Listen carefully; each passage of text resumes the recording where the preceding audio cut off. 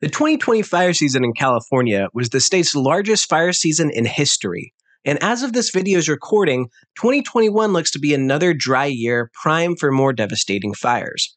Understandably, there's been a lot of recent discussion about fires, particularly about what is to blame for causing them. Here are three reasons why California is always on fire. Number one, fuel.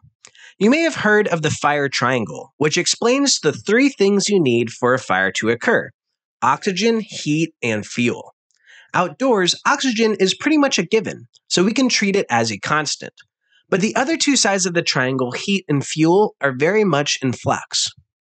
Fuel relates to things that can burn, like trees, shrubs, grasses, and even houses. And California has a ton of fuel.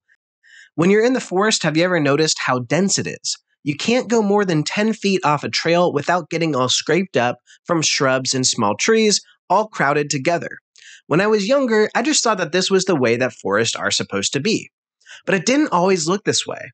Historic photographs from the turn of the 20th century show that Sierra Nevada forests were far more open than they are today.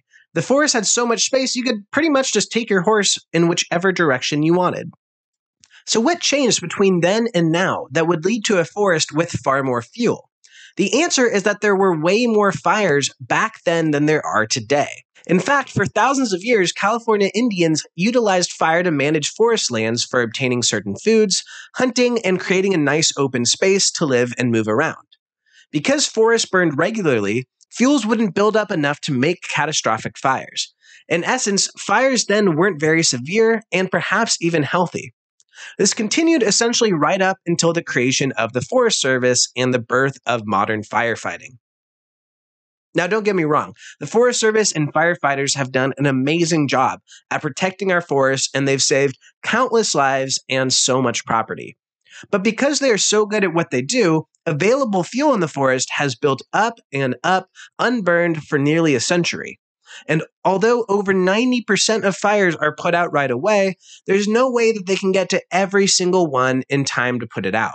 And all it takes is one fire to go on long enough for it to take advantage of our fuel packed forest and become uncontrollable. In March, I saw the effects of this firsthand by surveying the results of the 2020 Creek Fire near Shaver Lake, California. The Creek Fire burned over 380,000 acres of land, making it the fourth largest fire in state history. Tragically, it destroyed over 800 structures, many of them homes, as it burned for more than three months. In these images, you can see where the fire burned with high severity, killing nearly everything, including mature trees that form an important part of the forest ecosystem. The fire here became so intense in part due to the high levels of fuel that had accumulated without burning for so long.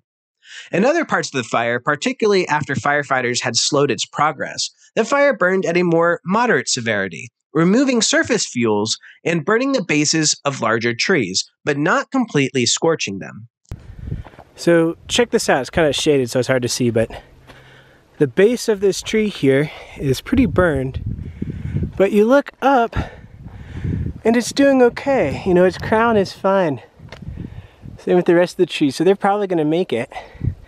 And that's what we want. We want these more mature trees to survive and everything, all the brush beneath them, all this litter has been really cleared out. And look at how much more open it is through here.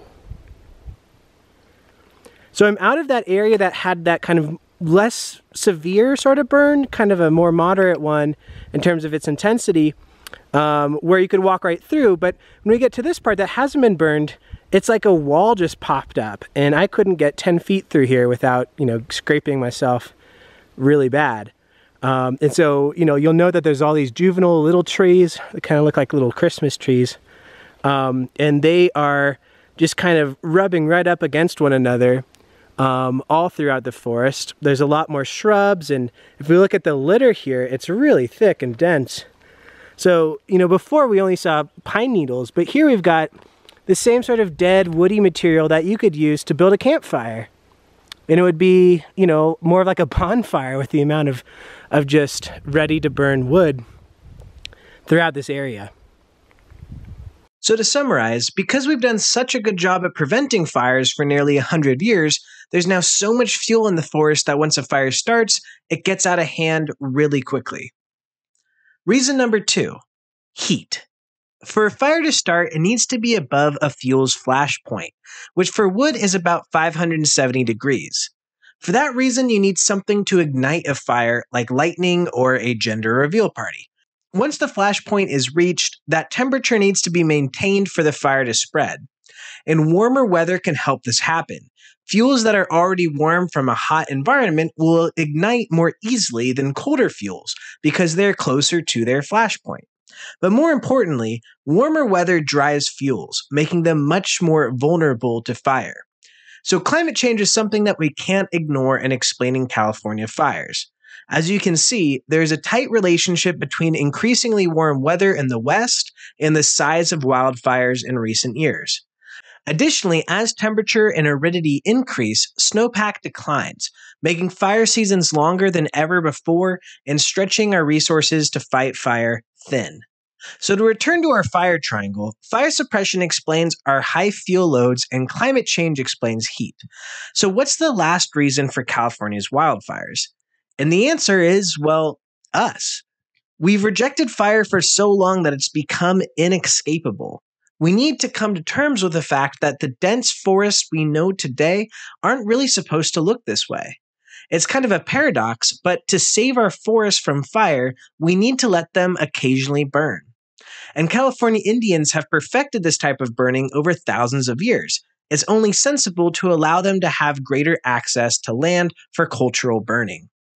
We enjoy visiting our forests and living within them. But in order to prevent massive fires in the future, we need more controlled fires now. As my Smokey Bear knockoff Combustion Bunny says, only you can advocate for controlled burns in California. Thanks for watching and make sure to subscribe to Poopy Archaeology for more videos about the past.